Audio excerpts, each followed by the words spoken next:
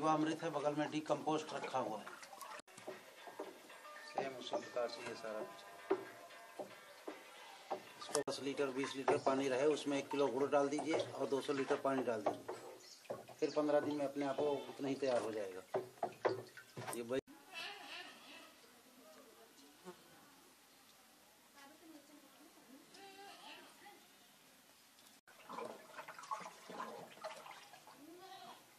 ये जीवामृत है, बगल में डिकम्पोस्ट रखा हुआ है। लहसुन है, मिर्च है।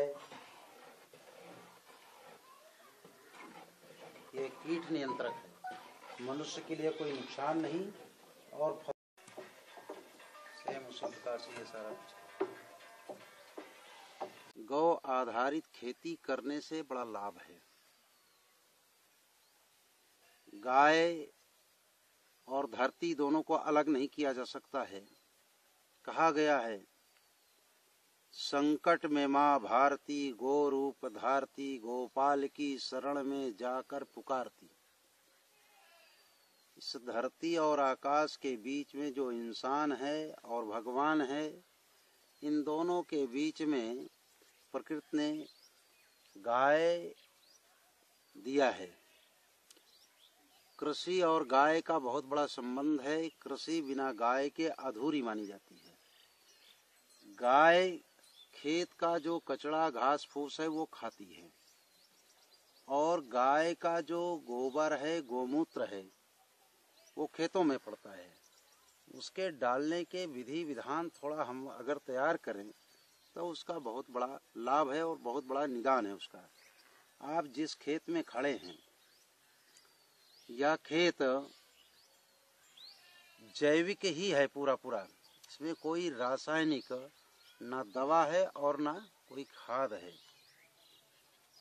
दस लीटर गोबर और दस लीटर गोमूत्र और दस केजी गोबर, एक किलो गुड़, एक किलो बेसन और एक किलो मिट्टी बरगद या पीपल के पेड़ के नीचे। किसी एक बर्तन में डाल करके हम उसको एक सुबह शाम संभव हो तो दोपहर में पाँच पाँच मिनट घुमाएँ। घड़ी के दिशा में और ये सात दिन तक प्रक्रिया करें। सात दिन के बाद आठवें दिन, नौवें दिन, दसवें दिन, बारहवें दिन, जब इच्छा हो, आप ले जाइए खेत में, जिस नाली से पानी जा रहा है, जिस नाली से पानी जा रहा है, उसी नाली में पतली धार करके छोड़ दीजिए।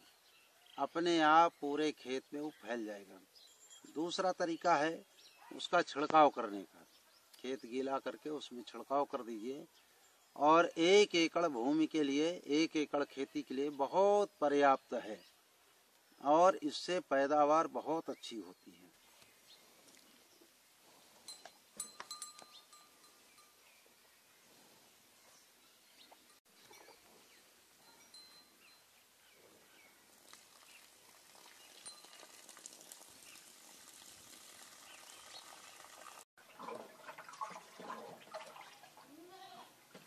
जीवामृत है बगल में डीकम्पोस्ट रखा हुआ है।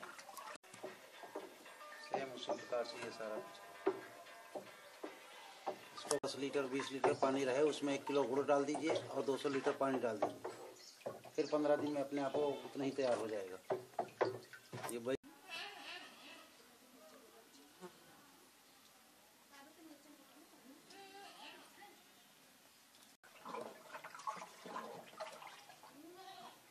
ये जीवामृत है, बगल में डी कम्पोस्ट रखा हुआ है। लहसुन है, मिर्च है, ये कीट नियंत्रक है। मनुष्य के लिए कोई नुकसान नहीं और सेम उसी प्रकार से ये सारा कुछ